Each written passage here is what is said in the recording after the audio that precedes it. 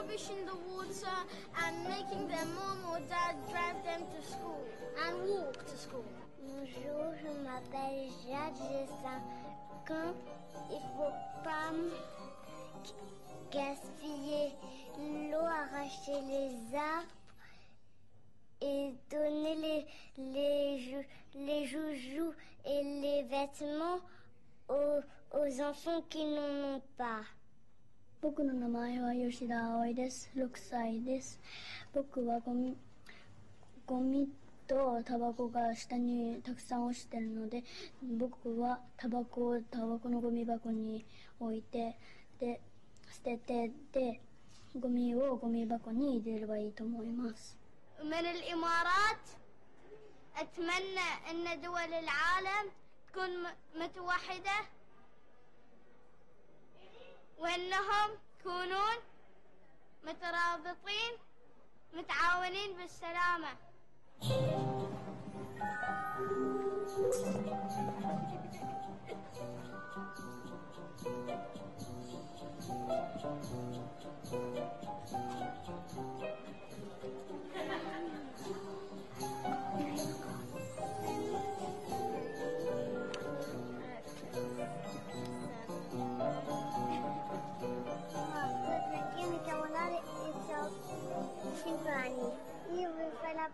E giocare con i bimbi, ma poi guardare la tele perché c'è tanta corrente. Today we will be talking about how to save the planet and we would like to make sure that all the money has been shared equally and everybody has money so that nobody is on the street. Voor de planeet wil, wil ik recyclen. En ik wil schone energie gebruiken.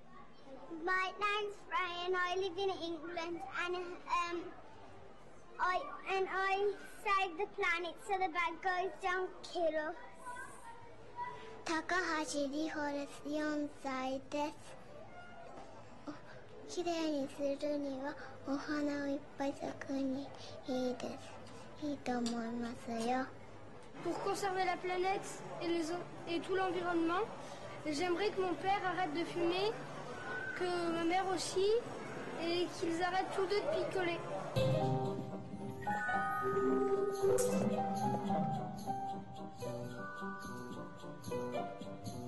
name's Iris and I'm seven and I'm from Hong Kong. Um, to save the planet, don't waste money. Ik probeer de arme mensen genoeg geld en eten te laten krijgen. Dinchichewa Alce Sungani Bueno Mazi Waukondo.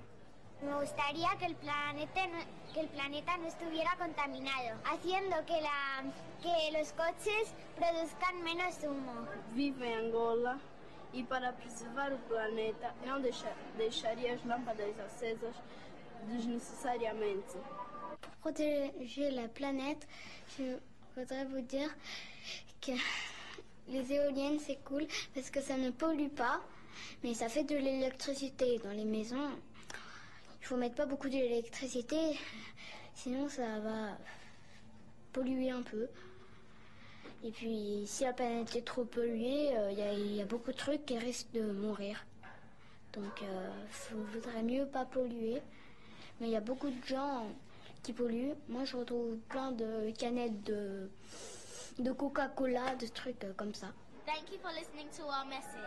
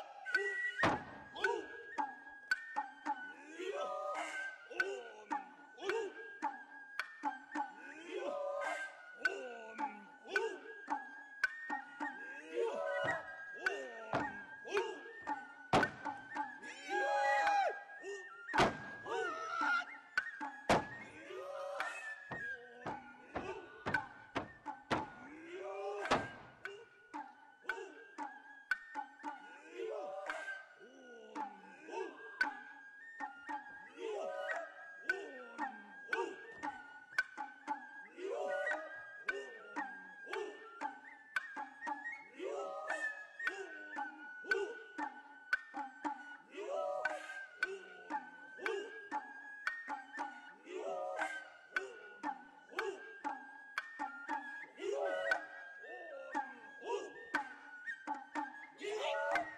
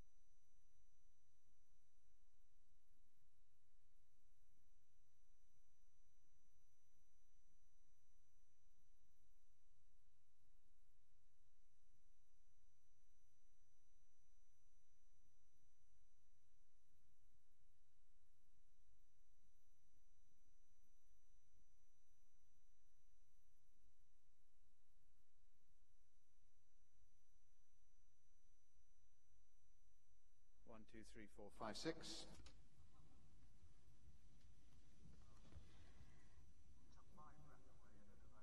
大変素晴らしい演技でした。私は息を飲みました。皆さん方はどうお考えになったでしょうか。大変素晴らしい舞台芸術を見ていただきました。皆さん、こんにちは。そしておはようございます。そして、心から皆さん方を持続可能な開発のための教育に関するユネスコ世界会議に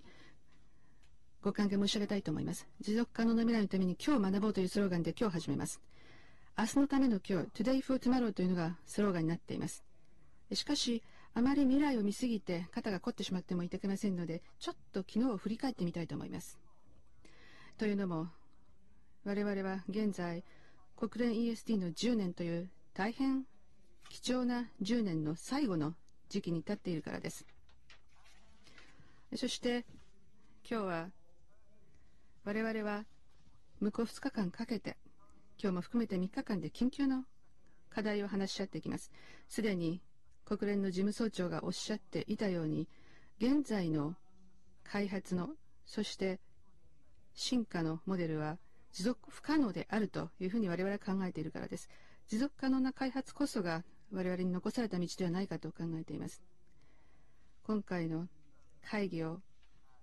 オープンするにあたって、このような事務総長の言葉を指針としてやっていかなければいけないと考えています。私はユネスコと再び仕事を組むことができまして嬉しく思っています。ユネスコとは過去何年間かお仕事をしてまいりました。中国でもフランスでも。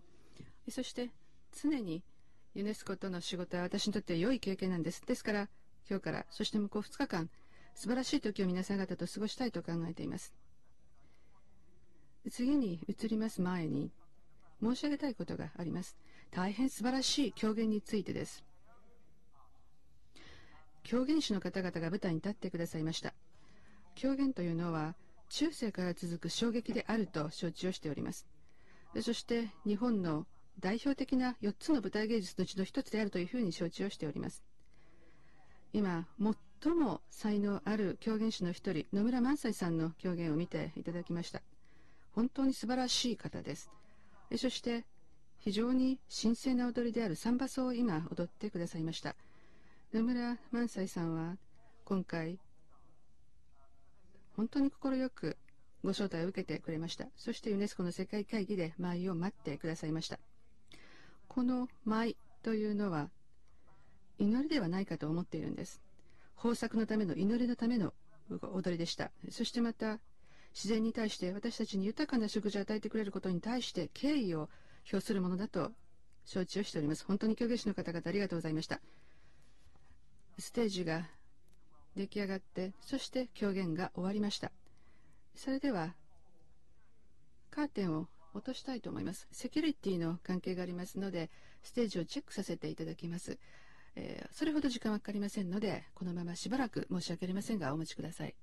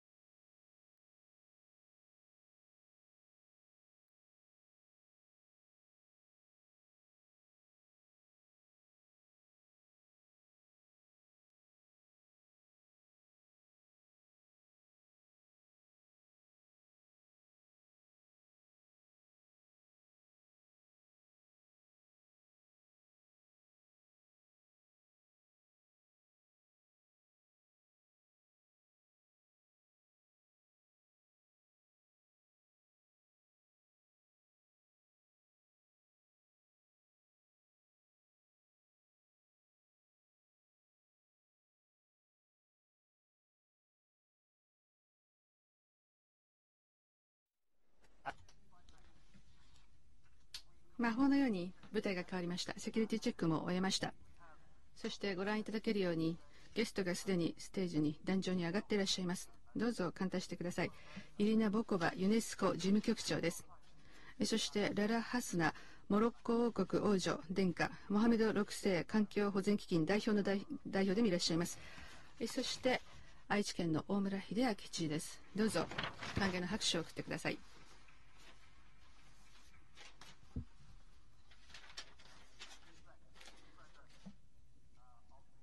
すべて皇太子殿下と妃殿下をお迎えする舞台が整ったと思います。私は大変今日光栄に思っております。まだ私自身はお会いをしていないんですが、しかし今日舞台上に皇太子殿下、同妃殿下をお迎えすることになります。儀典の関係上、どうぞお立ちにならないで座ったままでいてください。私ども喜びを持って、日本国皇太子殿下、そして同妃殿下をお迎えいたします。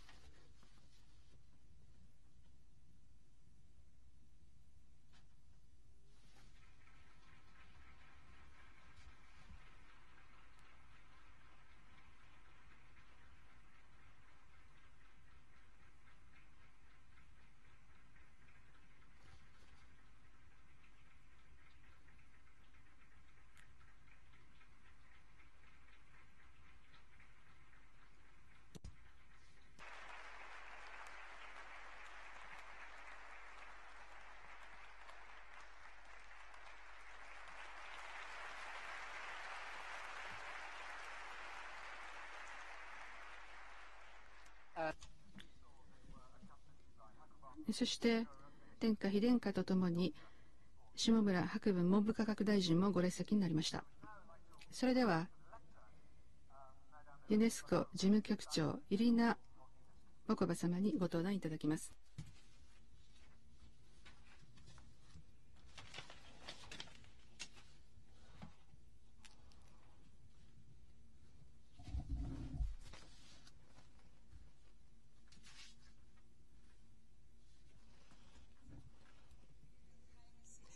皇太子殿下、同妃殿下、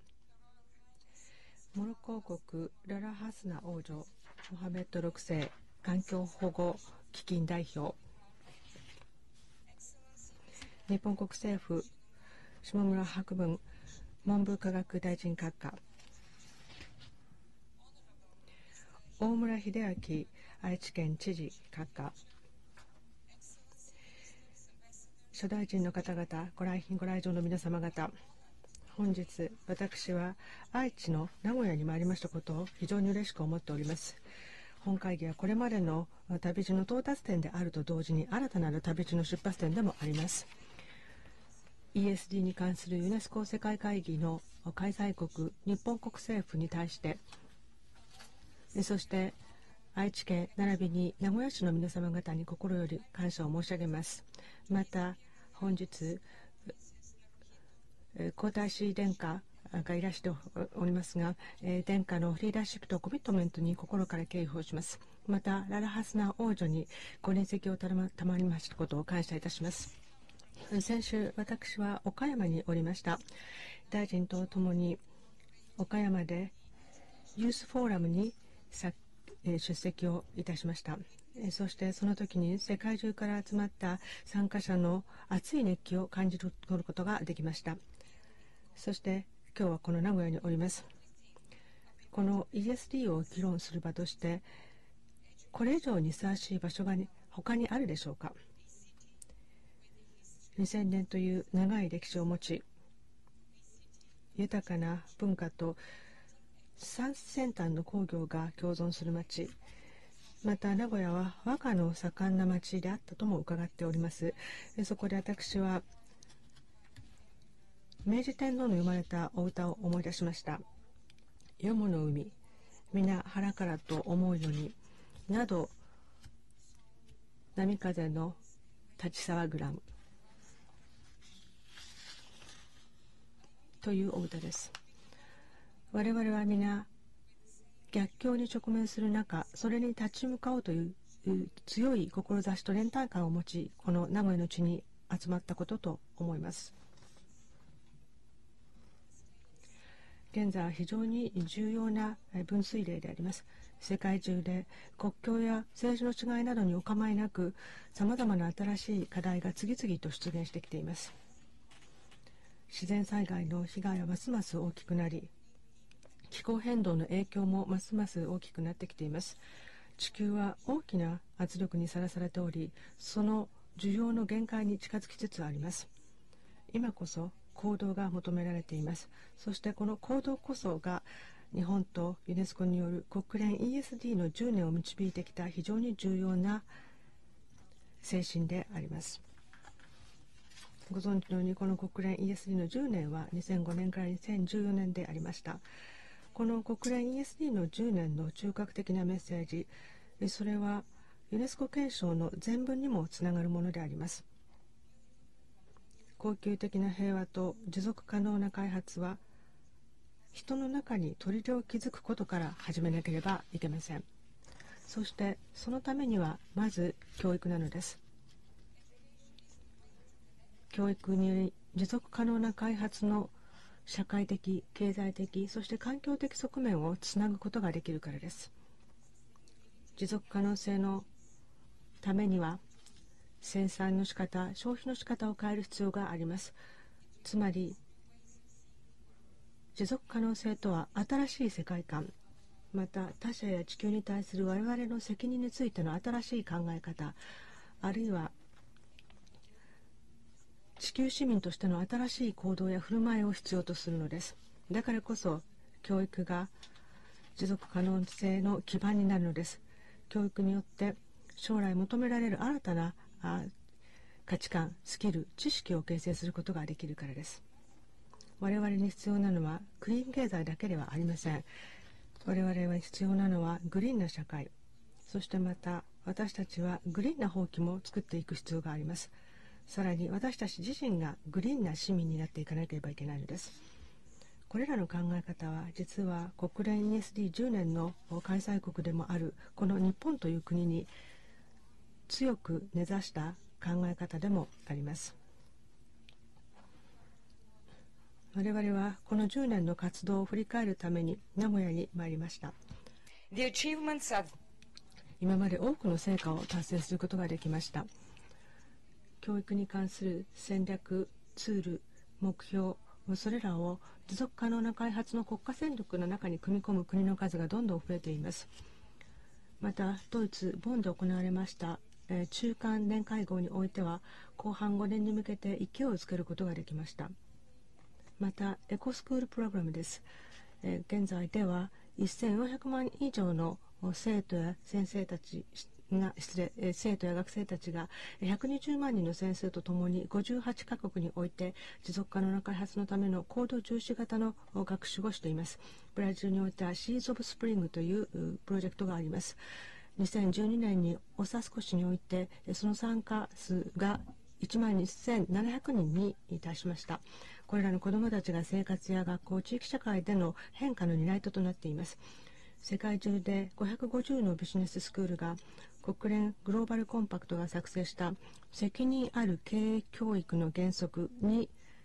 署名をしてくださいました。モロッコにおいてはこの持続可能な開発を学習の中核に据えております。そしてグリーンなスクールを作ろうという活動をしています。ここでモロッコのララ・ハスナ王女の精力的なご活躍に敬意を表したいと思います。王女は実に多くの画期的な活動を行っているモハメド6世環境保護基金の代表でもいらっしゃいます。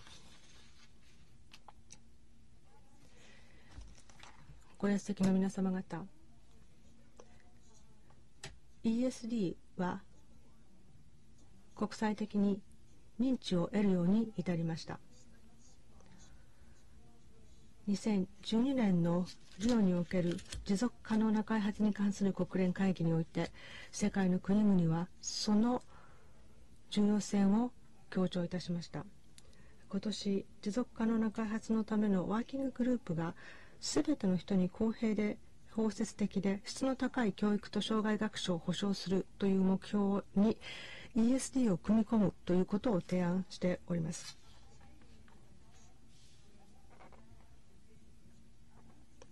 そしてこの考え方は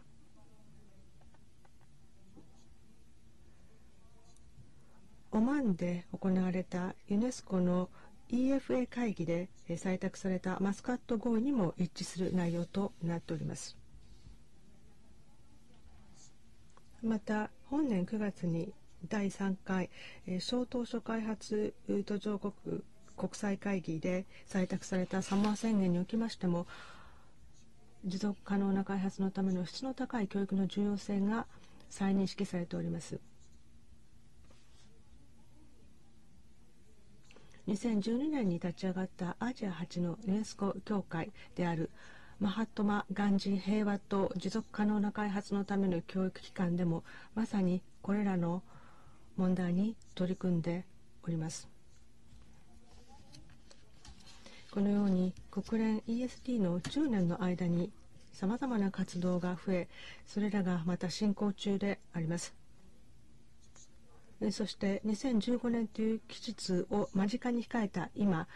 各国政府を助けるためにペースを加速する必要があります。それが持続可能な開発のための新たなアジェンダの採択であります。来年パリで予定されている国連気候変動枠組み条約の COP21 はユネスコがアクティブパートナーでもあります。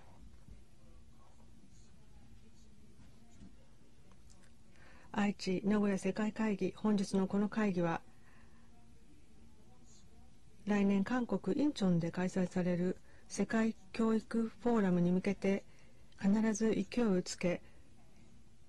今後の教育政策への弾みとなるものであります。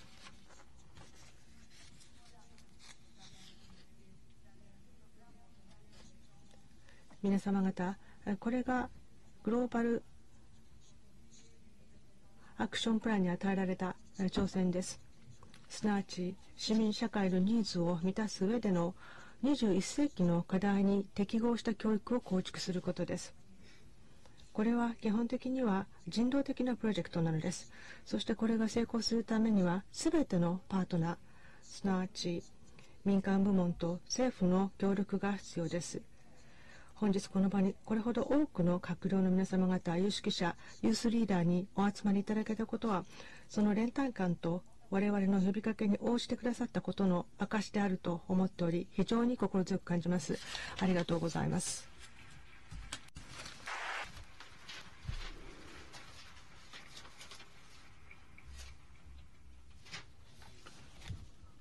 ありがとうございましたスローガンをまとめた形で非常に素晴らしいメッセージでした。そして新たな旅をこれがこれまでの旅をベースとして始まるということをおっしゃってくださいました。私どもはそうした大変重要な時期に来ているというふうに思います。そしてまた向こう3日間の重要性も本当に考えさせてくれたスピーチであったと思います。それでは次に皇太子殿下をお呼びしたいと思います。皇太子殿下お願いいたします。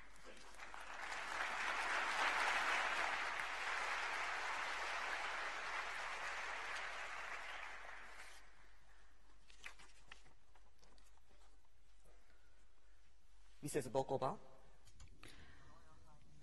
ボコバ事務局長、そしてモロッコ国王女殿下ララ・ハスナさん、そして会場の皆様、私は今日非常に嬉しく思っております。ユネスコの持続可能な開発のための教育に関する会議がここで開催されるということで、たくさんの方に多くの国からお集まりいただいております。そのことを嬉しく思っております。今日我々は経済の回復とともに人口の増加という問題を抱えております。そしてまた気候変動という大きな波、そして多様性の喪失という大きな問題、そしてまた自然資源の喪失という大きな問題を抱えています。また貧困もあります。またその他多くの問題を我々は抱えております。子どもたちにとっては我々は3つの重要なタスクを成し遂げなければいけないと考えます。まず地球の環境を守ること。これが後には豊かな命を育むことになると考えます。そして限られた地球の資源を守ること。そしてまた持続可能な開発を達成すること。これらが我々に課されたタスクです。これを達成するために私たち人間は多くの力を尽くさなければいけません。知識を尽くしそして知恵を集めてそして能力を高めていく必要があります。こうした環境下にあって国連の会議つまり持続可能な開発のための教育に関する会議が今日開催されるわけですがしかしリオではまた2012年に6月に大きな会議が開催されております。いわゆるリオサミットです。そしてそのリオサミットの際に188の参加国が会期に集いそしてある宣言を採択いたしました。その宣言は我々が欲する未来というタイトルの宣言でした。そしてそれによって我々一人一人がどのような行動を取ればいいのかを話し合うきっかけとなりました。このリオプラス20の会議で持続可能な将来を達成するために一人一人が何をしたらいいのかということを話し合うきっかけとなりました。持続可能な開発を達成するために私たち一人一人が我々は他の人に依存して生きているということを他の人との関係性において生きているということを理解をしなければいけません。未来の世代に対してそして我々が生きる環境に対して我々は多くを負っています。そしてグローバルな深刻な問題を解決していく上で国際的な見地を高めていかなければいけないということも考えなければいけません。そのためには教育が基礎となります。私はこの過去10年間において国連 EST の10年が展開されてまいりました。そしてその間世界の人々がさまざまな形で ESD に関わってまいりました。つまりこの EST の10年の最後の年にユネスコの持続可能な開発のための教育に関する会議がここ日本の名古屋で開催されることは非常に重要だと考えています。この10年のそもそもの考えを最初に提案したのは日本だからです。またこの会議に先立ち高校生たちがそして他の若い人たちが世界中から集って日本の岡山で会合を持ったと伺っております。そしてそこでは大変素晴らしい議論が ES に関してなされたというふうに伺っております。私たちはこうした若い方々が地球の将来を担っていると考えています。そして彼らこそが持続可能な社会を構築する担い手になるべきです。最後に私は心から敬意を表したいと思います。今回の会議に携わってくださったすべての方々今回の会議にご尽力くださったすべての方々に対して敬意を表します。また私は非常に素晴らしい議論が EST の促進に向けてなされることを心から期待をしております。そしてそうした教育の場における具体的な努力によってその成果として持続可能な社会がもたらされることを心から期待をしております。どうもありがとうございました。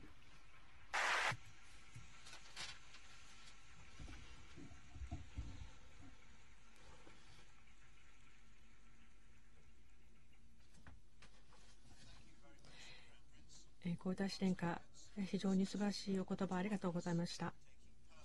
私たち一人一人の責任というものを痛感させるお言葉でございました。続きまして、下村博文文部科学大臣からお願いしたいと思います。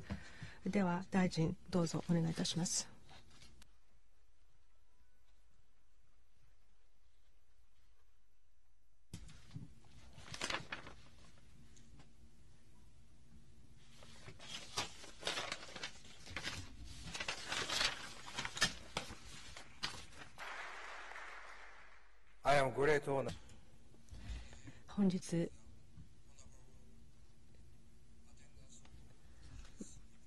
皇太子殿下。同妃そして。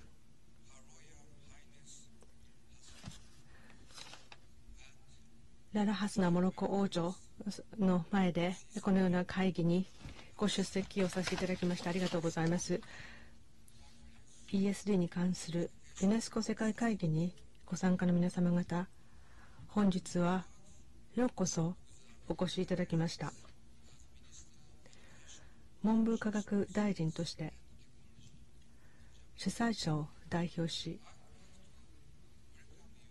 皆様方を心から歓迎いたします。ご存知の通り国連 ESD の10年は2002年のヨハネスブルグサミットにおいて当時の我が国の総理であった小泉純一郎首相が提唱し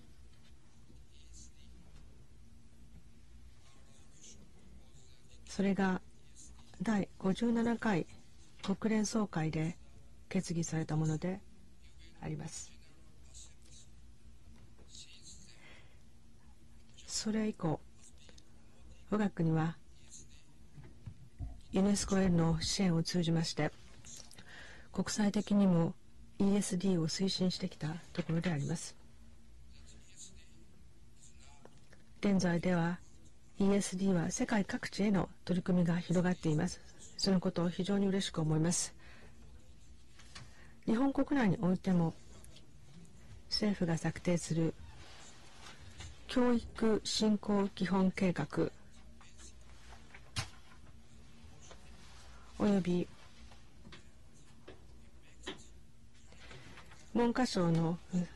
カリキュラムを編成する際の基準いわゆる学習指導要領に ESD の理念を盛り込むなど ESD を積極的に進めてまいりました。またユネスコスクールの加盟数は世界最多となる807校に上りました。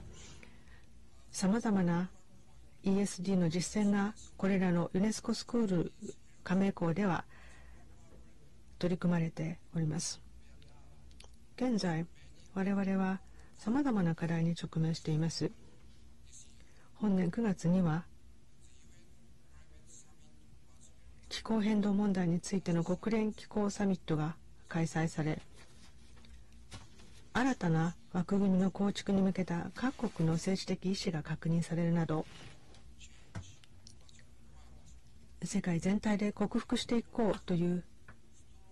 機運が高まっております。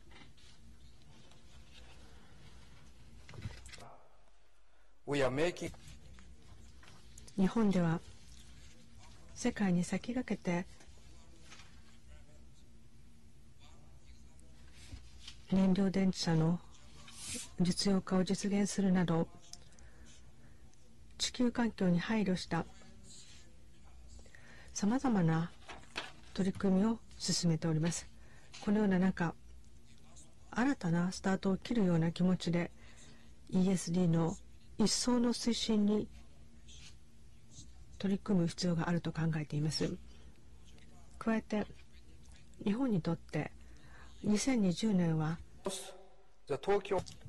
我が国で東京オリンピック・パラリンピックが開催される年でもあります。日本が今後進む方向性を形づけるまさに我が国にとっての大きな転換点になると考えております。このイベント環境に十分に配慮したものにしながら若者らが自信を持って積極的に環境問題をはじめとする地球環境の課題の解決に向け行動を起こすことを促していきたいと考えておりそのための重要な視点となるのがこの ESD であると考えております。我が国は ESD に最も積極的に取り組んでいる国の一つであるとの自負を持って国内の取り組みをさらに充実させていくとともに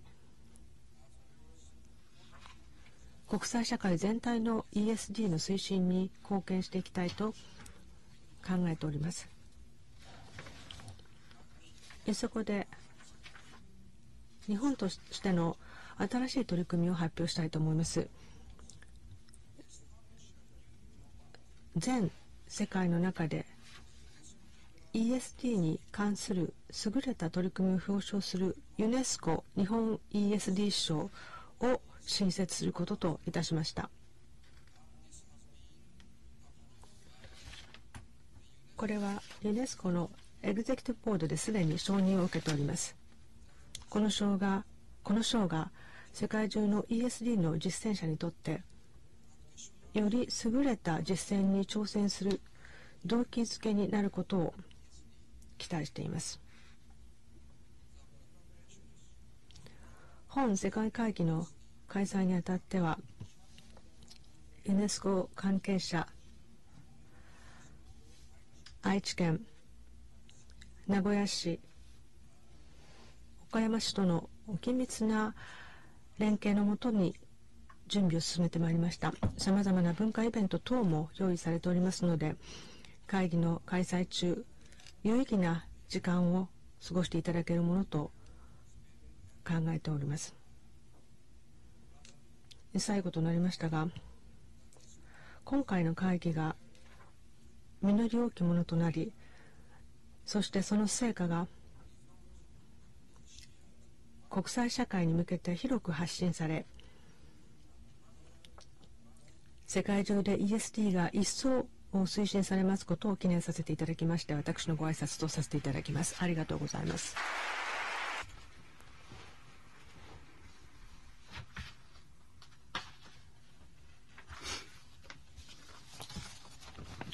大臣ありがとうございました。良いニュースがありました。新しいイニシアチブが始まるということです。新たな賞を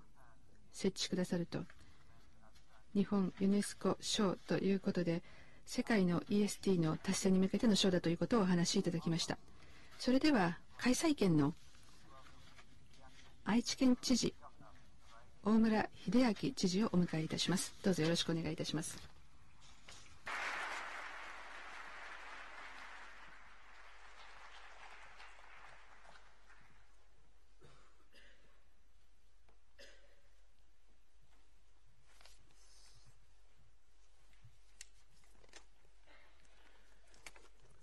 ロイヤルハイネスプリンセスララハスナモロッコ王国王女殿下イリーナ・ボコバユネスコ事務局長閣下。ユネスコ加盟各国の閣僚の方々はじめ会議参加者の皆様ようこそ愛知名古屋へお越しいただきました。本日皇太子殿下同妃殿下のご臨席を仰ぎ持続可能な開発のための教育に関するユネスコ世界会議がここ愛知県名古屋市で開催されますことは誠に光栄であり開催地を代表して歓迎申し上げます。愛知県では国連持続可能な開発のための教育の10年がスタートした2005年自然の英知をテーマに愛知万博が開催され人類が自然とどう向き合っていくかというメッセージを全世界に向けて発信することができました。環境に関する万博というのは世界で初めてで私たちは重要な人類と自然の共生をメッセージとして発信することができました。そしてその5年後の2010年には生物多様性条約第10回締約国会議いわゆる COP10 がまさにこの会場で開催されました。そして生物多様性の保全に関し今後10年間に世界が取るべき道筋である愛知目標が採択されました。これら愛知万博や COP10 の成果を未来に継承し持続可能な社会を実現するべく2011年本世界会議の誘致を表明し地域を挙げて全力で準備に取り組んでまいりました。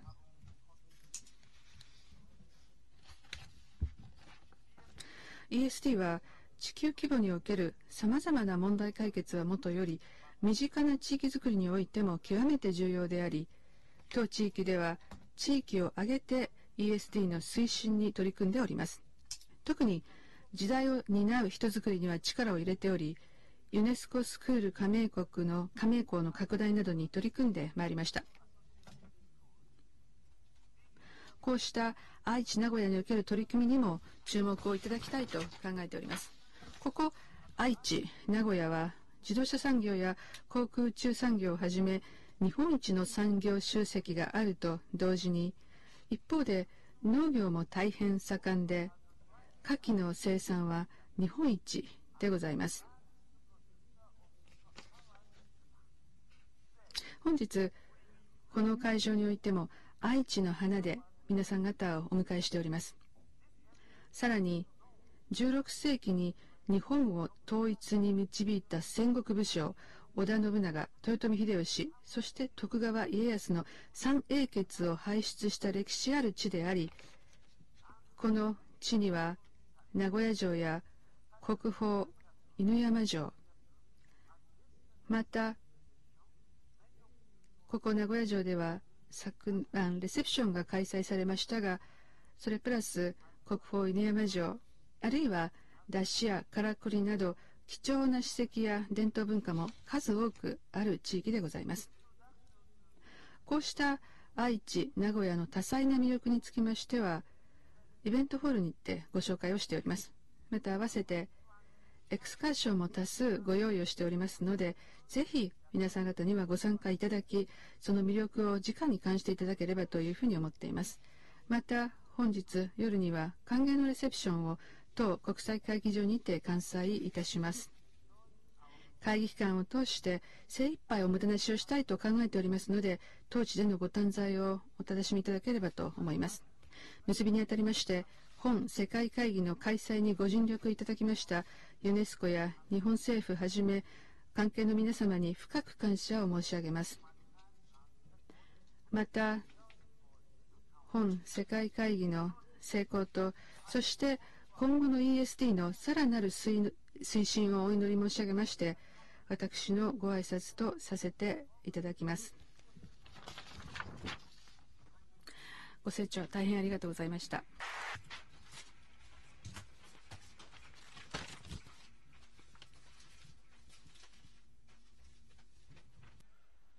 Thank you very much, Governor. 知事、ありがとうございました。えー、素晴らしいお花であります。ありがとうございます。え本日、えこのような素晴らしいお花ありがとうございました。レセプションの方でもお花があの用意されているということでありますけれども、さて、それでは皇太子殿下、妃殿下がご退出されますが、皆様どうぞそのままご着ご着席のまま、えお見送りください。で、えー、両殿下はこの場はご退席されますけれども午前中に残って会議の様子をご覧になっていかれるそうです。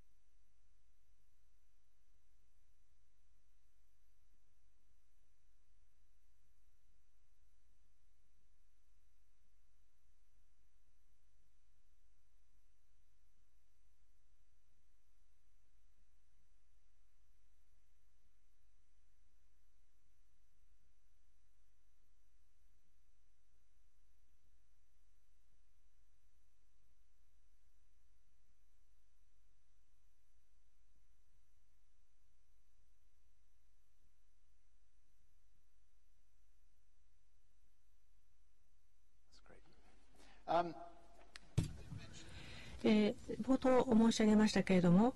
バンキムン事務総長の言葉をご紹介いたしました。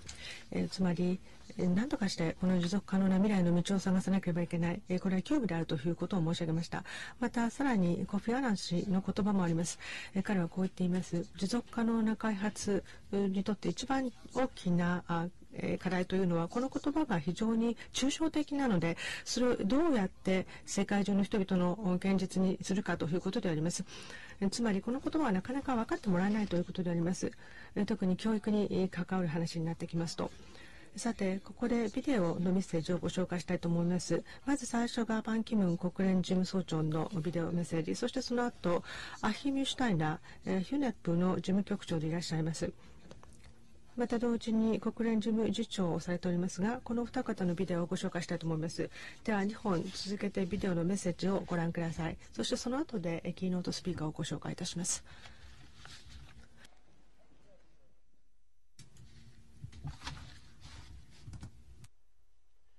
Your Imperial Highness え皇太子殿下ララハスナモロコ王女下村博文文部科学大臣。閣下。ご来賓ご来場の皆様方。皆様こんにちは。ようこそ会議にご出席いただきました。日本とユネスコがこの非常に重要な会議を開催するに至りました。サステナビリティというのは私たちのこの貴重な世界を現在そして将来のために守っていくための唯一の方法でありますプラン B はないのですサステナビリティあらゆることに組み込まなければいけませんそしてその出発点になるのが教育であります。子どもたちは皆グローバルシチズンシップを学ぶことによって彼らが責任ある市民として我々の共通の未来を守っていかなければいけません。このメッセージは伝わりつつあります。気候変動のマーチに関しては世界中で9月に行われています。そして私はニューヨークでサミットを行いましたが、その時にも非常に勢いを感じました。これがこのこのまま気候変動の、ええー、この来年のパリの COP にも続いていくと思います。今回の会議というのは将来を考える上で非常に重要であります。そして私たちのグローバルアクションプランをこれから作っていくわけなんですけれども、その中で教育が特に重要であるということそして2015年の SDG を考えていく上で非常に重要なものであります。本当に皆さんたちの成功をお祈りしたいと思います。ありがとうございます。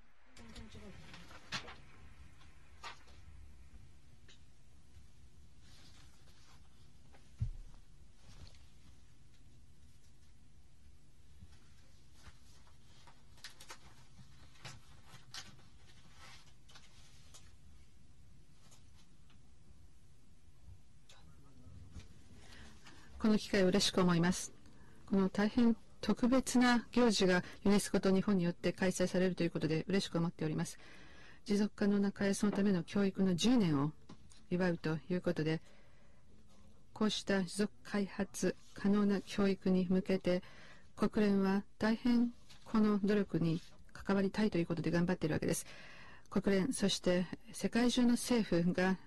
努力をし、そしてこの持続可能な開発の上の教育の重要さを説いているところです。そして地球上で様々な形で学びを勝ち取ろうとする人がいるわけです。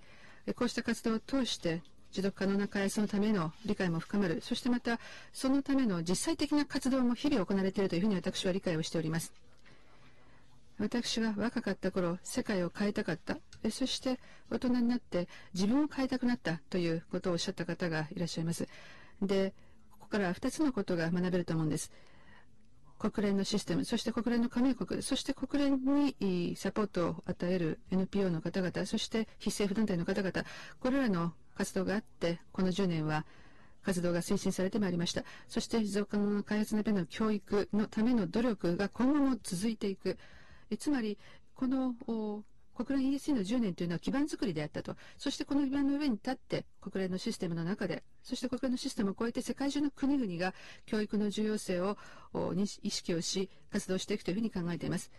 そして国連は新たな持続可能な開発のための目標を交渉している最中です。そこで重要になってくるのは、持続可能な開発のための将来の視点というものであって、その中では、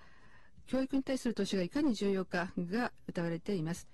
そして教育にを与えることによって人々は力を獲得する、知識を獲得する、そして国連環境計画も私どもの貢献をこの国連 ESD の10年の最後の年にあたってさらに加速化させたいと考えています。グローバルな大学のパートナーシップも持続可能性のためにできています。そして、すでに520の大学がカリキュラムを対象として、そして教育の役割について、そして生徒との関係において様々な活動をしております。そしてこうしたパートナーシップを大学と作ることによって、そして彼らに国連のファミリーになっていただくことによって、知識の拡大につながる。そしてまた、教える、あるいは学ぶという作業もどんどん質が高まっていくというふうに思います。そしてまた、この10年間のプログラムとして国連 ST の10年が始まったわけですが、国連環境計画もこの活動に対して様々なサポートをしております。グローバルの学術的な知識、そして、えその知識に基づいて実際に活動する人々の力を結びつけようというものです。このように ESP の10年というのは、今後の将来にかけての基盤づくりとなるものであり、また人々の行動の規範を変える、そしてそれぞれの個人が技術をいかに管理をし、そしてこの環境に対するフットプリントを減らしていくかということを学んでいく、そしてまた経済と環境のバランスを取ることを学んでいくというもの、そのような10年の活動というものを国連環境計画もやっています。そして合わせて、この国連 ESG の10年が現在行われている。この両者が一緒になってピースを一つずつ埋めることによって、国連のこの10年のミッションを達成していきたいと考えています。日本におけるミーティングの成功を心からお祈りをいたします。日本は様々な形でパイオニアとなってくださっています。例えば、低炭素社会であるとか、エネルギー削減であるとか、まあ、そうした問題の先駆者でいらっしゃいます。そしてまた、環境保全、そして多様性の問題も日本がこれまで力を発揮してきた長い旅路を歩んでいる項目です。ですので、この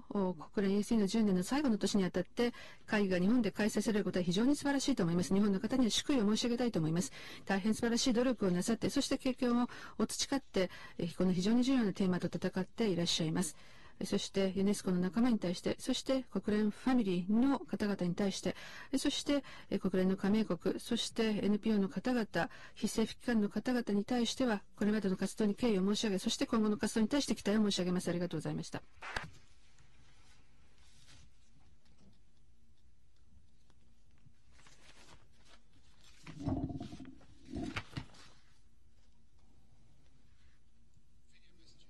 えビデオメッセージいただきました。パン・キムン国連事務総長とアヒム・シュタイナー UNEP 事務局長でございました。では今朝の基調講演者をご紹介したいと思います。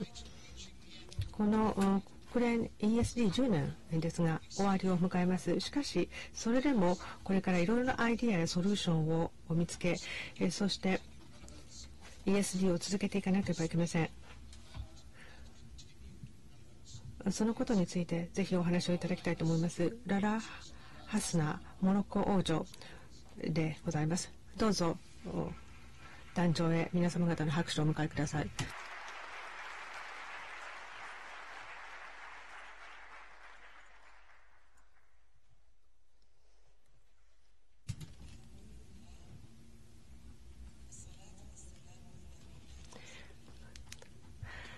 皇太子殿下イリーナ・パコバ・ユネスコ事務局長。ローザ・オチュバンウェ元キリギスタン大統領閣下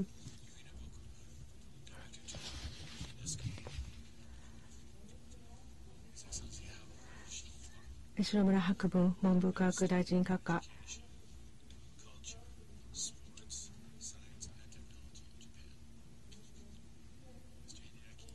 村秀明愛知県知事。諸大臣方ご参列の皆様方。ユネスコ並びに日本国政府関西のそして私自身が非常に関心を持っているこの世界会議に参加をさせていただき大変嬉しく思います。まずもって日本当局の方々の温かい歓迎と素晴らしい運営に心から敬意を表します。またポコバ事務局長にはこの会議に来賓としてご招待をいただきましてありがとうございます。皆さん今回の会議はいわば分水嶺のようなものです。DESD の終わりというだけではなく我々はお互いに学び合いそしてまた環境保護人類とそして持続可能な開発のためのグローバルアクションの中心的そして不可欠な側面として ESD を推進するということを話し合う重要な会議でもあります。モハメッド6世環境保護基金は DESD を支える精神と価値観へのコミットメントを共有しています。2001年にモハメッド6世陛下により設立されますとこの基金はすぐに TESD の価値観や原則を先取りしたような形で活動を開始いたしました。私が代表を務めていますこの基金は手段や行動にはかなりの自由度が与えられておりますが持続可能な開発の戦略の中核に人を添え人を据えたいという国の最高レベルの願いを反映したものであります。この点に関し、モロッコの新憲法では、持続的可能な、持続可能な開発及び健全な環境への権利について明示的に言及しております。さらに国民の意識向上及び参画促進において、市民社会や NGO の果たす役割も新憲法では認識されております。環境のことを考えて行動する。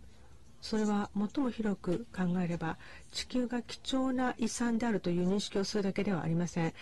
それに加えて将来世代のために地球を守らなければいけないという我々に課された重大な責任をも認識することを意味します。だからこそモハメッド6世環境保護基金では現在と将来の世代を中心に働きかけます。彼らのためにそして彼らを通じて持続可能な開発に必要な国民の価値観や意識を向上させ国民を教育していきます。基金ではまず小学生レベルから働きかけます。他の活動と同じですが文部省や教師教育者団体公職者地元 NGO 企業などとパートナーシップを組んで持続可能な開発を心底から信じることのできる新たなエコフレンドリーな世代を作ろうとしております。中等教育のレベルにおいては環境に対する個人あるいは集団責任を気づかせることで生徒たちに好奇心を持たせる生徒たちの好奇心を刺激するという活動をしています。また現在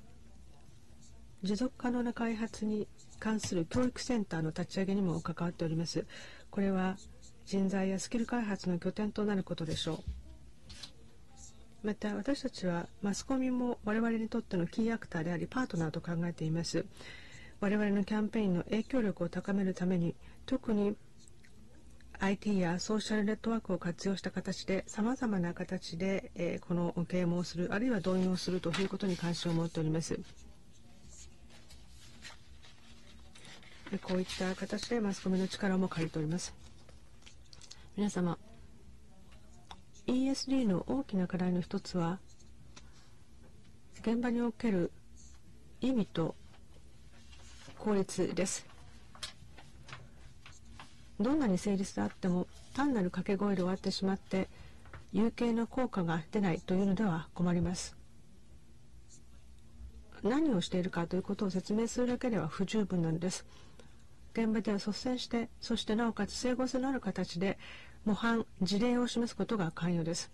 そのためには積極的なあ教育学的アプローチの開発が待たれます。このように事例を通じた学習を行うと国の重要プロジェクトが、えー、思いも及ばないような波及効果を生みます。例えばモロッコでは野心的な世界最大級のソーラープロジェクトがあります。このプロジェクトは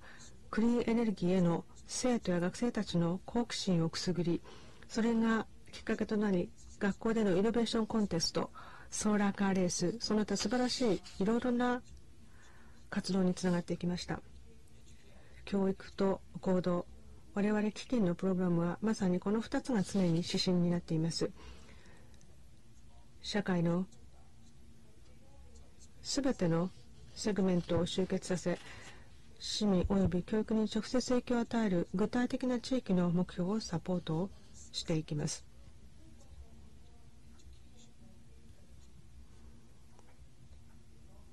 実際我々の基金のモットーは環境はみんなの問題です。私たちはクリーンビーチのイニシアチブを行っています。モロッコには 3600km にわたる海岸線があるからです。また、マラケシュのヤシも守ろうとしています。そしてまた、モロッコ王国の歴史公園、歴史庭園の保存も行おうとしています。そしてまた、空気質の改善にも挑んでいます。これらアプローチは全て非常に実際的で、そして具体的な活動なんです。そして、そこでは、失われゆく自然遺産に焦点を当て、いかに自然遺産を守るかということに焦点が当てられております。リオ20の会議に向けて報告書を準備をしておりましたのは2012年のことでした。当時、私たち基金では、責任ある消費行動をタイトルとしたフォーラムを開催しておりました。ここでは、高校生たちが何人も参加をして、例えば公務員の方々と、そして市民社会のメンバーの方々と、そしてジャーナリストの方々と意見を交換いたしました。そしてその結果、非常に質の高い実際的な提言提言が出てまいりました。この試みは次の年も継続して行われました。世界環境改善教育会議第7回が2013年マラケシュで行われておりましたが、その際には高校生が市民ジャーナリストとして多く参加をいたしました。そして最後に私はここで宗教教育の重要性も申し上げておきたいと思います。宗教教育は私たちの共同の活動から阻害されてはならないと考えます。むしろ我々はある国の無形の遺産をのシンボル的な資源を培っていくために例えば一般の人の見識を高めるために宗教教育が重要だと考えています。これは持続可能な開発のための教育の分野で無視できない要素だと考えています。皆さん、持続可能な開発のための教育という分野ではもっとやるべきことはたくさんあります。我々一人一人がそれぞれの手段とそれぞれの立場においてどんな小さな貢献でもいいから貢献をしなければいけません。そしてその結果として一貫性のある全体戦略が生まれてくるべきです。このように一貫性のある戦略を作る上でそしてまた大きな成功を今後勝ち取っていくためにはつまり私たちが国連の2015年のアジェンダで歌う新しいゴールを達成するためには2つの大きなチャレンジがあると考えますまずユネスコが大きなリーダーシップをこの持続可能な開発での教育の分野では取っていかなければいけませんこれまでこうした行動のための枠組みを作っていらっしゃった多くのステークホルダーの方にその点では祝意を申し上げたいというふうに思います。そしてまた一貫した行動を取るためには倫理的な側面も拡充していくことが必要です。先進国も途上国も、そして国際レベルでも国内のレベルでも、ただ単にプログラムが効果的に行われればいいというものではなくて、そうしたプログラムの倫理的側面も考えなければいけません。どんなに善意になる人が集まっても、この部分が抜け落ちているケースが多くあると思います。今後持続可能な開発のための教育を推し進めていくのは非常に大きなタスクであり、そしてまた人々の心や人々の行動の基本を変えていくことは簡単なことではありません。ですから、この持続可能な開発のための教育は世代を超えた長きにわたる推進力を必要としています。そしてそのためには知識と情熱とやる気に満ちたグローバル市民で、そして自らの将来は自ら作っていくという責任を持った市民の情が待たれるというふうに感じています。どうもありがとうございました。神のご加護が皆さんにありますように。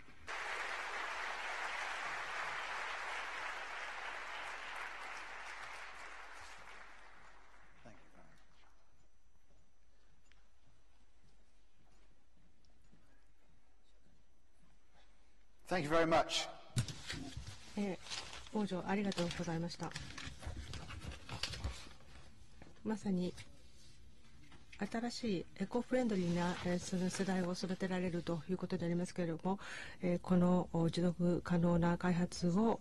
えー、価値観の中心に置くような新しい世代のことでありましょう。さて、それでは、えー、この ESD のこの10年の最後を記念いたしまして最終報告書の発表でございますキアン・タンさんをご紹介します。ユネスコ教育担当事務局長補でいらっしゃいます。ではタンさんどうぞお願いいたします。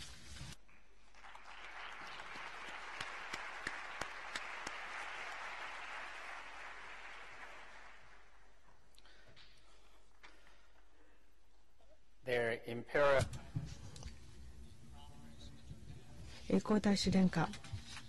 えー、妃殿下ララ・ハスナモロッコ国王女下村博文文部科学大臣閣下諸大臣方そしてご参会の皆様方。本日我々はここに集いました。国連 ESD の10年を終えるにあたりこうしてここにみんなで集まりました。この10年間で世界中のステークホルダーが持続可能な開発を教育や学びの場に統合することで全ての人々が持続可能な開発に資するような知識やスキルそして価値観を習得できるように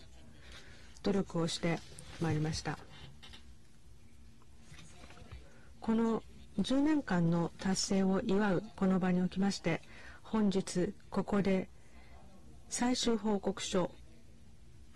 Shaping the Future We Want を発表できることを大変誇りに思います。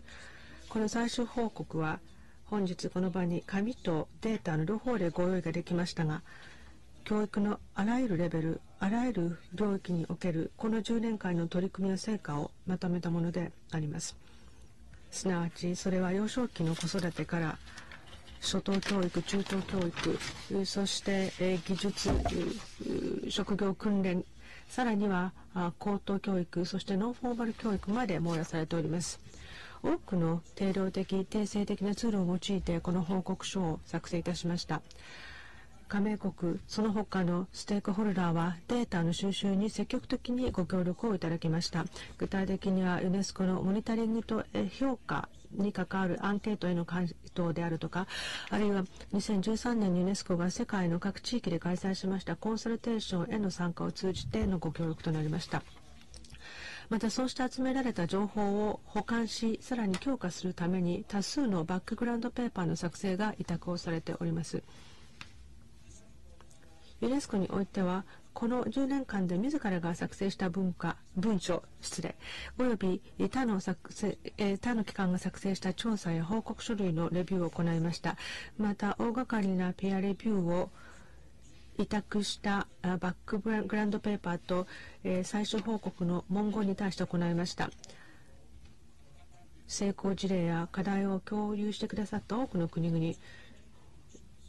や、えー、いろいろな方々に感謝したいと思います、えー、結論は大きく2つに集約できます。1つはこの10年間で明らかになる進歩があったということであります。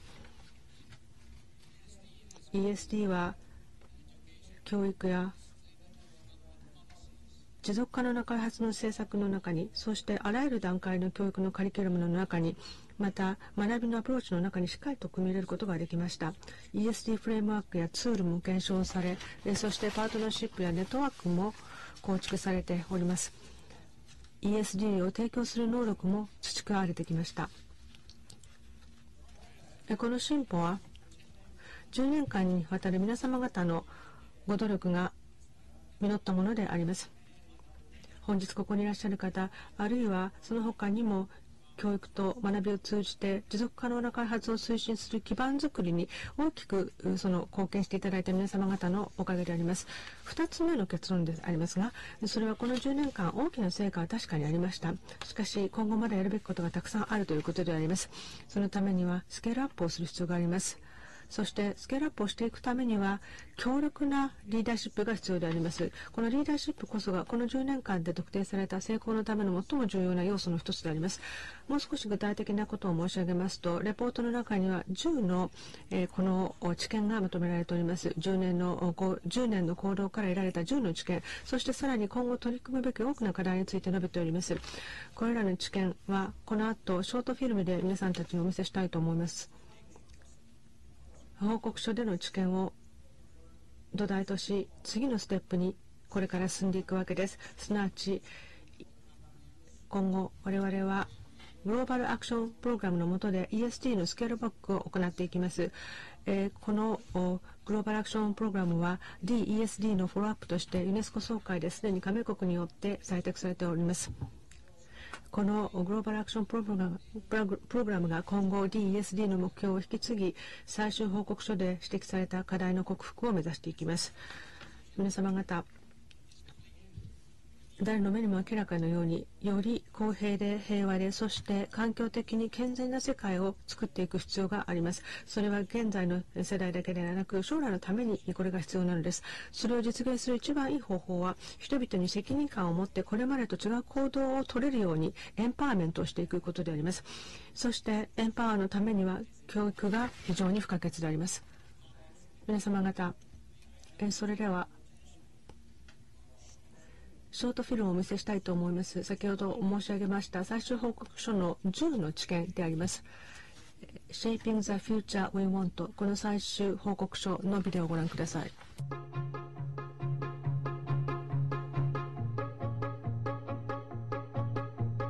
Through the United Nations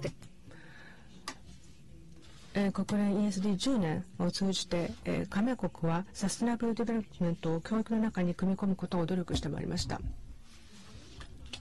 え、次のようなもの、これはエビデンスから集めることができました。10年間の実績に基づいています。まず第一は、教育システムは、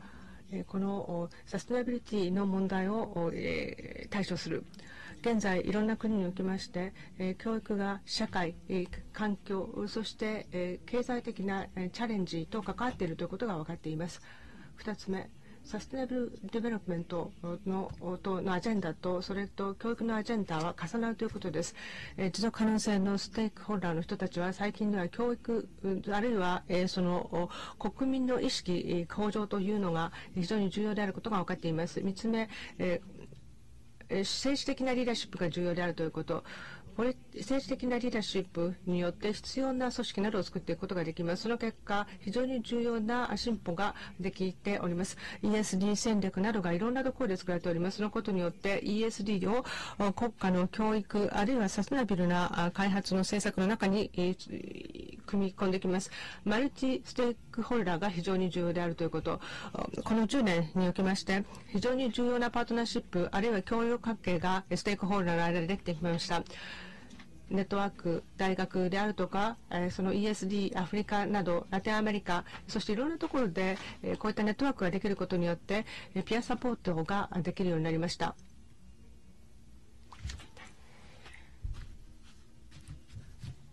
5つ目、ローカルでのコミットメントが増えています。ESD の実践としまして、ローカルなコンテクストとの中で行うということが重要ということであります。そして、包括的な全機関的なアプローチが重要であるということであります。これも増えてきています。そして学習者が sustainable development に関して学校であるとかいろんなところで、あるいはコミュニティ、職場などいろんなところで、触れる機会が増えています。7番目、ESD によって、えー、インタラクティブなあ、ー、 learner を中心とした教育学が増えていくことになります。参加型の学習、すなわち批判的な思考能力、そういったものが、えー、使われていくことが重要であります。すべてのこのレベルでの教育者が重要であります。そして ESD は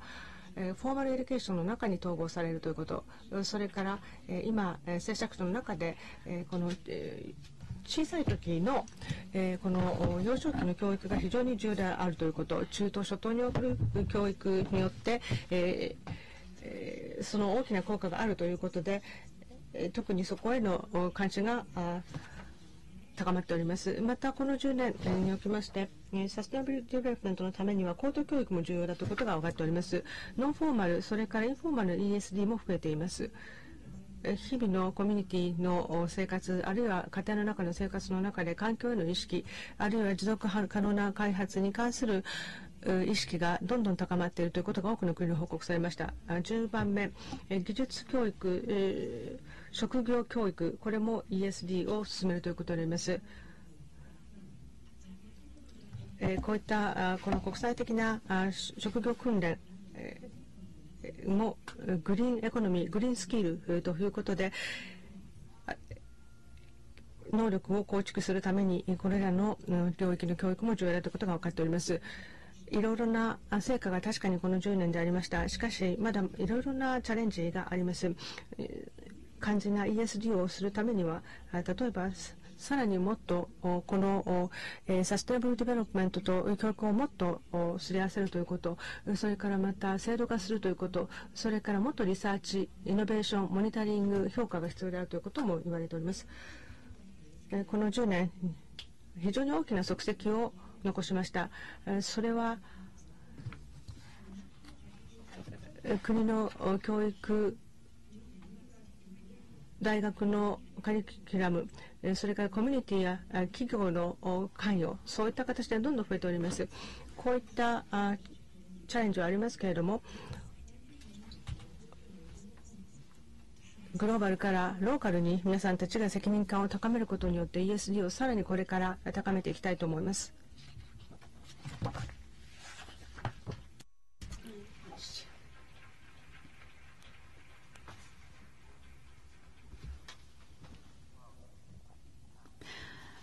タンさんありがとうございました。大変素晴らしいビデオだったと思います。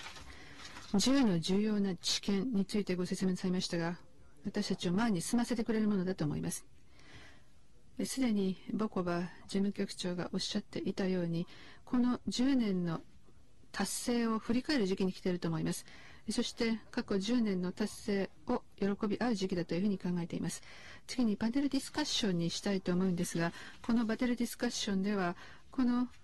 DSD 国連 ESD の10年の達成とそしてさらなお抱えるチャレンジについて話し合われる予定です。えー、ボコバユネスコ事務局長、えー、そして南アフリカあ basic education の大臣でいらっしゃるアンジェリナ・モスツケさんもご登壇になります。えそしてスーザン・ホグウッドさんはエデュケーション・インターナショナルのプレジデントでいらっしゃいます。この集まりは世界のすべての教師の集まりとご理解ください。そしてまた、オーストラリアエデュケーションユニオンの総裁でもいらっしゃいます。そしてもう一人、バーレインからタリク・アル・オレイニーさんです。オレイニーさんは約5万人のユネスコユースカンファレンスの応募者の中から失礼5000人の応募者の中から選ばれた51人の方の一人です。この5人でパネルディスカッションを始めたいと思います。皆さん方、今日は本当にありがとうございます。まず、最初のパネルディスカッションへの質問なんですが、まず、ユリナ・ボコバユネスコ事務局長にお答えいただきたいと思います。すでに、今朝、アクションへの宣言をなさいました。で、まず最初の質問なんですけれども、一番大きな石膏達成事項は何だったんでしょうか？国連 ESC の10年が生み出した最も大きなものは何だったんでしょうか？そうですね。すでに出されている報告書の中では10の重要な知見というのが歌われています。この10年によって大変大きな可能性が出てきたと思います。つまりパートナーシップを構築しそしてさまざまな異なる組織の力をいただく例えば国連システムですとかその他さまざまな組織の力をいただく基盤ができたことだと思います。シュタイナさん、ユネップの方も先ほどビデオでお話をなさいました。そしてエデュケーションインターナショナルのスーザンもいますが、彼らもお話になると思いますが、そうした、え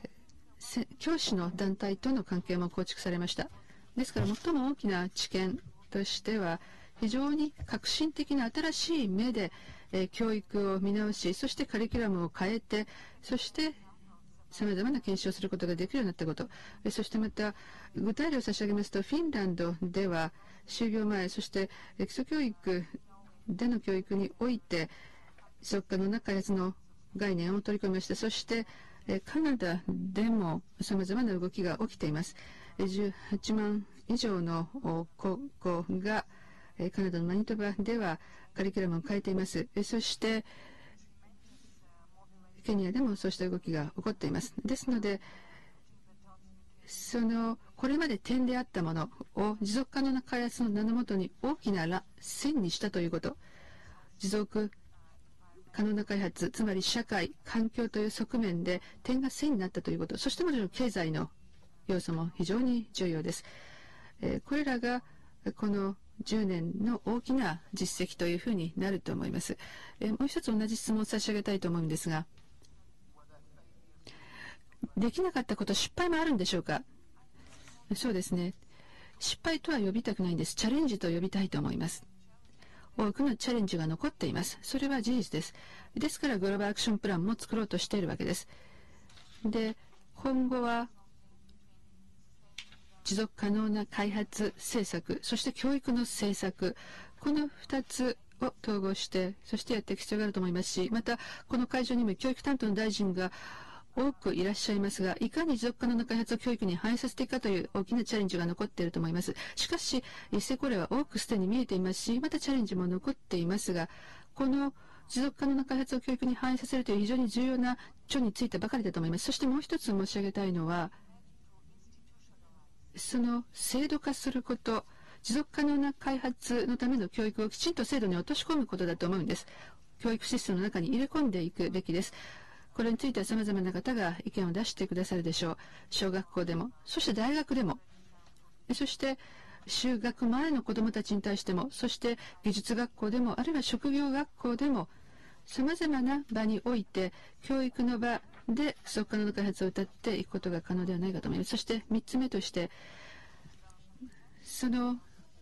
2015年以降の持続可能な開発のアジェンダの中で持続可能な開発のための教育の一つの重要な要素としてモニタリング評価が残っていると思います。というのも今の段階では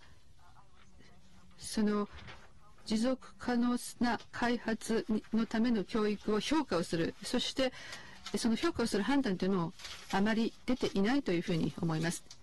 もちろん日々のさまざまな活動がありその中でそのそれぞれの国で何が起こっているかを把握する重要性が高まりそのその理解は高まってきたと思うんですがしかし一方でその成果をどんな進展があったかということをこと評価する動きはあまりないし評価をする基準もないと思います。評価は非常に難しいですよね。本当に新しいことから始めるわけですから評価は簡単ではないというふうに思います。大臣同じ質問したいと思います。どうでしょうか？え大臣の目から見て、え特に成功したということがあるでしょうか？あるいはそのこの10年間の達成ということですけれども。向こうでリモートでコントロールしてると思います。普通に喋っていただけますか？ダメですか？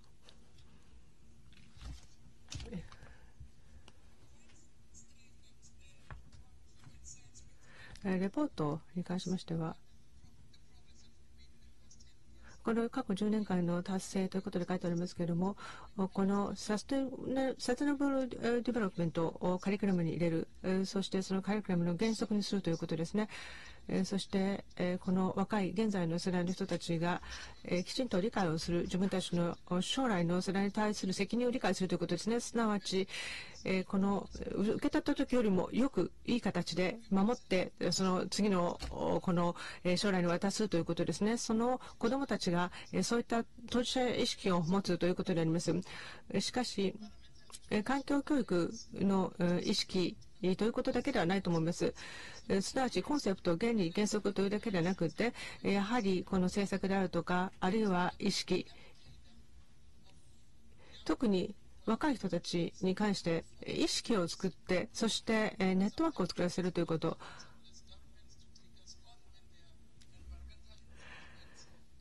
そして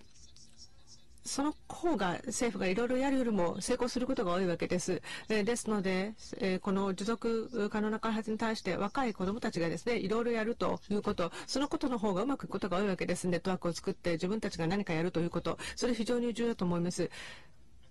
えー、そのあ王女が先ほど若い人たちが非常に重要であると。そしてエコフレンドリーの世代を作るということをおっしゃいましたけれどもそういったメッセージを先ほど王女がおっしゃいました。さてで同じ質問をしたいと思うんですけれども、うん、どのようなあその成果があったんでしょうかこの10年ということでは、えー、まあ、明らかに言えるのはこの10年というのは、えー成功という意味ではやはり人々の意識を向上させて変化を起こしたということだと思います。えー、そして ESG に関する意識は、えー、いろんなところで高まっていると思います。えー、例えばえこのリオプラス20であるとか、えそのいろいろな会議において、えこの ESG を促進させようということを多くの国々が言っております。うんですので ESD というのがいろいろな形で、えー、その議論されておりますしそしてまた2015年以降の、えー、開発目標を決めるオープンワーキンググループでも議論がされております、えー、マスカット合意もそうですね、えー、他の例としましては先ほどこ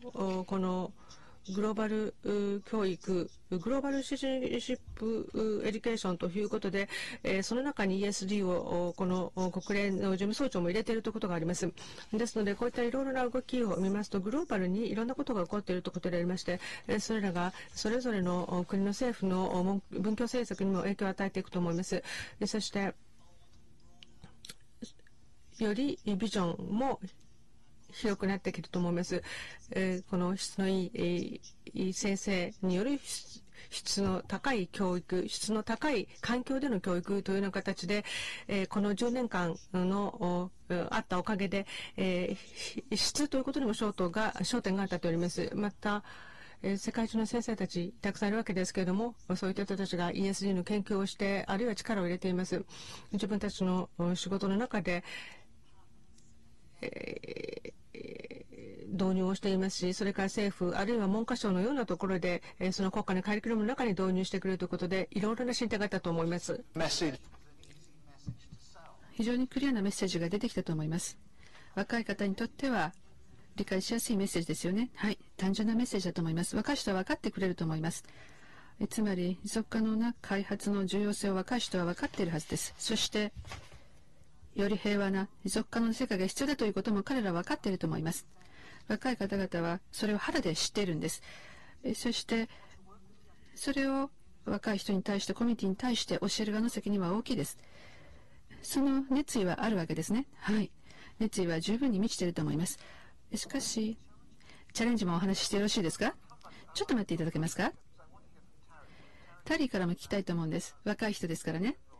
ですから、5000人を代表する若い人の意見を聞きたいと思います。どう思いますか？過去10年をどう評価していますか？DST の会議を土曜日に終えたばかりです。そして人間として DST の一種問題にリーダーシップを取っていかなければいけないということを学びました。そして2005年以降、この若い人が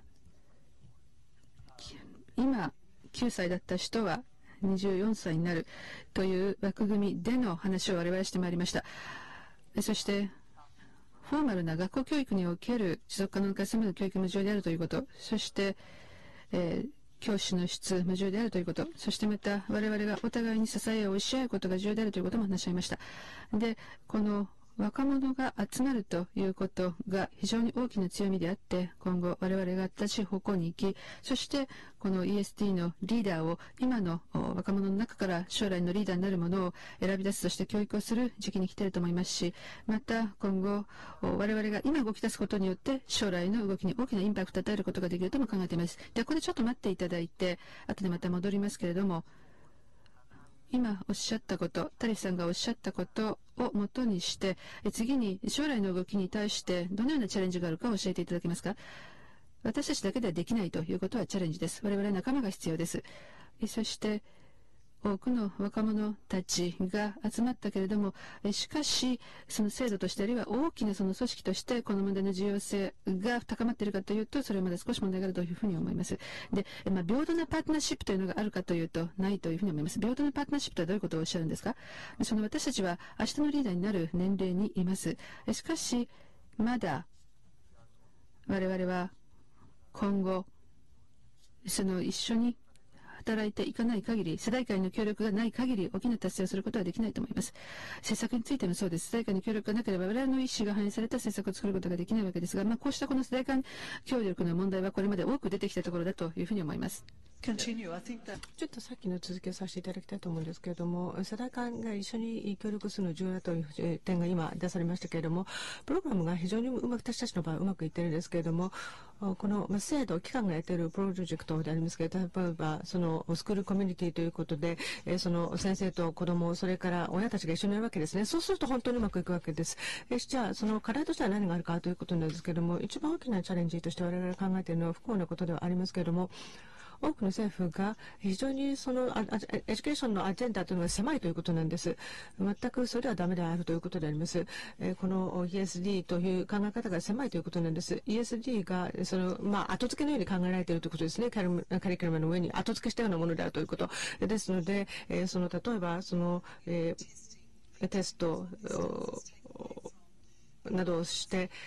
えー、その先生たちの能力をどのようにしてもっとこの質の高い、え、この協力して教育をさせるかということに関してもうまだ議論がされております。それからもう一つ先生の能力をその作るということということをもっと広い意味で考えていく必要があると思います。それは、えー、その自信を持って彼らが、えこの ESD ができるようにさせてやるということです。えこれはその環境の先生だけではないです。えまあ、先生たちのグループとして、すべての先生がですね、やはりこの ESD の中に、この、かかっていかなければいけない。自分たちの教える、教えの中に、この障害教育の一つとして ESD の力をつけさせるということが重要だと思っています。我々のリサーチによりましても、先生たちもその手が欠けているというふうに、その自分たちも思っているわけであります。えー、例えばそのフランス語を話す先生たちの組合と話したんで話したんですけど、やりたいと思ってるけれども、そういった能力が自分たちでないと、そういったトレーニングを受けていないということを言っています。ここが大きな課題になると思います。えー、教育というのは、この問題の非常に中心的な問題だと思います。えー、これは非常にその大変なんですか？なかなかそのやりにくいと言いますか、難しい問題ですか？何かそのことに関してちょっと付け足すことはありますか？先ほどお話をされたのは、えーえー、局長、事務局長だったんですけれども、どうですか？他にはその課題という話ありますがまず最初に、えー、私もこのユースフォーラムに行きました。えー、昨日ですけれども、そして議論に関わってまいりました。若い人たちと議論をしたんですけれども、え今彼が言ったことは非常に重要なことだと思います。私は実際にですね、まあ、あなたたちはその将来のリーダーというふうに言うわけなんですけれども、このサステナビリティであるとか、あるいはその sustainability development、SD ということを考えるとき、あるいは ESD を考えるときに、非常に重要なことというのは、それはえその市民を関与させることが重要だということなんです。すなわち、えその形式な形で学校で教える以上ではダメだという、学校で教えなければダメだということであります。ですので、誰かがその言ってくれるまで待ってちゃダメだということなんです。自分たちで始めなきゃ、今始めなきゃいけないということなんです。サステナビリティというのはそういうことです。それはグリーンの経済だけじゃなくて、先ほど言いましたように、社会もグリーンになっていかなきゃいけないと言いましたね。グリーン社グリーンな社会というのは政府、民間もそうですけれども、えしかし、えこの市民社会が非常に重要になってくるんです。ギリーナ社会ということは。え特に若い人たちはこういったものに関して非常に感受感受性が高いですね。実際に国庁に来ても最初に見たビデオからわかると思います。一緒にこの、えー、住もうとか、一緒に暮らそうとか、他人に対する寛容性であるとか、そういったものを子供たちは持ってるわけですね。ここはやはりその世代間の対話の重要性だと思います。先ほども問題が出されましたけれども、サステナビリティ、あるいはその SD ということを考えたときには世代間の話し合いということが重要なんです。え先生はどうですか？そうですね、えー、そのイノベーションというのが若い人たちからたくさん、えー、出てくるんですよ。ですから先生、スーザンが言っていましたよ、どうしたかというと受け身になっていますね。えー、ですから、えー、従来型の勉強の教え方と違うわけで、先生が子供に教えるんじゃなくて、私たち全員が将来に関して考える。えー、どうやって一緒に暮らしていくか、えー、環境であるとか、その生物多様性であるとか、気候変動とかいろいろありますけれども、こういった新しいことを互いに世代を超えて教え合うということ、それが新しい世代だと思います。えー、そういったコンセプトを私たちはその作り上げたいということです。その時には若い人たちの積極的な参加参加が重要なんです。おっしゃる通りだと思います。どう思いますか？何かバリアがあるのか、そして何かチャレンジがあるのか、どうお考えでしょうか？今おっしゃったチャレンジの中には、若い世代、そして若い世代が先行して、そして、まあ、その古い世代が取り残されてしまうということもあると思います。教育を通して、市民社会を通して、すべてが参加をしなければいけない。そのある世代がやったことの後押しをする次の世代が現れなければいけない環境の意識を高める上でも教育は非常に大きな役割を果たしますそしてその環境に意識の高い人を集めるためにはそうした世代間のギャップを埋めていくことが必要だと思います。どうやってそのギャップを埋めるんですか？何をしなければいけないかというとメッセージを強化することだと思います。若い人のメッセージを国中に伝えていく。これがあなたたちの未来ですよ。環境を壊さないように皆さん方が頑張らなければいけないというような分かりやすいメッセージをきちんと届けて。そしてもちろんこれから若い人たちは経済競争など様々な競争に立ち向かっていくわけですが彼らを一つの大きな力としていかなければいけないわけなので彼らと古い世代の間で携われるメッセージを強化をしていく必要があると思いますしそれは市民社会の明るでもあるというふうに思います。それから国においてこのミーティングで準備をしていた際に、まあ、カリキュラムですとか政策ですとか様々な視点が上がってまいりました。しかし、そうした要素ごとに見てどこにギャップがあるのかはまだよくわからなかった。もっときちんと評価をしていかなければいけないし、そのもっとシステマチックにモニターをしていかなければしないと、どこにギャップがあるのかはわからないですし、どこに構造的な問題があるのかということも分かってこないと思います。もちろん大きな問題があるわけで、例えば国のプログラムの予算が足りないとか、あるいはその政府の中における調整が足りないとかいうことが出てきますが、その持続可能な開発は、えー、環境、その他ビジネスの開発とは違って、その大きな国のムーブメントとはまだ成り得ていないということがあるわけですが、そのために我々活動を促進し、そして特にモニタリングと評価ということをに重きを置きながら改善をしていかなければいけないと思います。でもちろん学校では教えられているけれども主流にはなっていないという視点についてはどう思いますか？主流にはなっていないということなんですがそれはどのように教育にアプローチをするか次第によって変わると思います。そしてその若い人たちが教育を受ける際には学校の外で、まそうした教育を受けるそれが主流になっているかもしれないと思います。そしてまたもちろんその大きな組織のサポートがなくても学校の外で小さな動きとなっているかもしれない。そして一方で政府がここに多くの代表団をこの会議に送っているわけですがしかし我々がこうして会議に参加しても外国の代表団と接触できる機会は少ないんです。我々は今後もっと橋を架けていかなければいけないと思います。そうしないと世代間、あるいはそのインフォーマルとフォーマルの間のその関係の構築ができないというふうに思います。非常に包括的なアプローチをするべきだというふうに思います。そしてもう一つ、イレナ・ブコバさんに最後にお聞きしたいんですが。ESD の将来どう考えられますか？また ESD を今後どのように進めていきたいとお考えでしょうか？コミットメントをお願いしたいと思います。でそうですね。今日ここに我々は集まりましたけれどもそれは非常に重要なアジェンダ将来に向けてのアジェンダを作るためであります。ESD のアジェンダもう一度私たちはここでこのグローバルアクションプランを作るということでこちらはユネスコ昨年その総会で採択をされたものであります。具体的なアクションがそこに書いてあります。国あるいは地域あるいはこの国際的なレベル何をするかということが書いてありますけれども、すでにもう起こっていることでありますけれども、私たちは ESD を非常に重要なターゲットの一つとして入れております。将来のこのサステナブルな2015年以降のそのアジェンダの中に入れております。すでにこのユネスコが行っております、そのグローバルシティズンシップを重要とした活動の中にも ESD は入れられております。グローバルシティズンシップという地球市民というのは非常に重要なことでありますけれども、この ESD も本当に重要なものであります。グローバルなサステナビリティアジェンダの中で重要なものであります。グリーンな社会であるとか、素晴らしいその政府が作る合意書、まあ、その COP21 パリ、それから今の会議もそうですけれども、そういったことはこれからありますけれども、私たちがどういうふうに生産をし、どのようにして消費をするかというような、そういった考え方自体を変えなければ何も変わっていかないと思うわけです。ですので、このグローバルサステナビリティアジェンダーのターゲットとして、まあ、私たちここにいますけれども、えー我々の責任として今回の会議においては、えーまあ、あるいはこの会議の重要性というのは、えー、こういった人類の今後に非常に大きな影響を与えるものであるので我々の責任は大きいと思います。えー、そうですね、はい、ESD のこの10年を超えて、我々は今後も考えていかなければいけないということであります。えー、ありがとうございました。えー、え、バコバ、あえー、事務局長、そして、えーえ、長野マスティ大臣、そして、え、スーザン・ホッポーと、そして、え、タリクさんに来ております。そして、え、皇太子、皇太妃殿下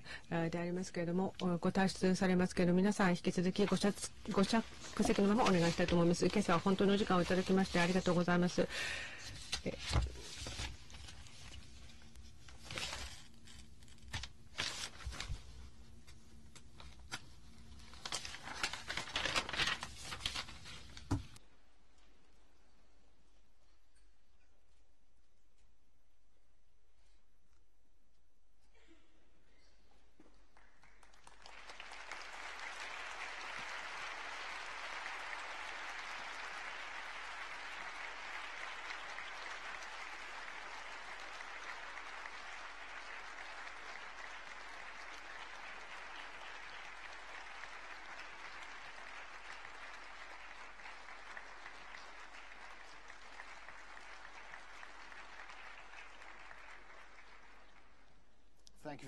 ありがとうございます。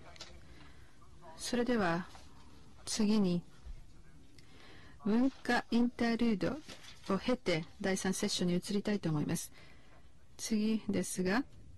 アーティストの方が準備ができているかどうかチェックをしたいと思いますので少しお待ちください。